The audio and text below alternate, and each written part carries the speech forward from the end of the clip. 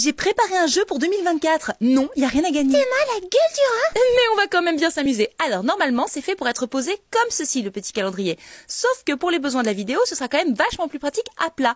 Il y a donc 12 licornes pour les 12 mois de l'année, mais aussi 12 personnes de l'équipe. À toi de deviner qui est qui. Et c'est parti pour janvier et sa longue chevelure rouge. Ah, tu donnes des indices? Bah ah oui, coquillette, ils vont jamais y arriver sinon. Février, un indice, elle vient juste d'arriver. Ah, je sais. En mars, vous ne trouvez pas? Attendez, avec les taches de couleur là et le bonnet en crochet? Et en avril, qui aime les bouquins, la magie, tout ça, tout ça, non?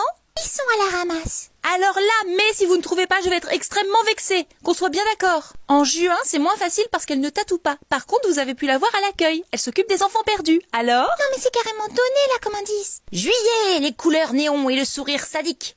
Ensuite, on passe en août. Et alors là, petit indice, petit détail, regardez au niveau des sabots. C'est bon, vous avez trouvé là? Ah, je crois que je sais.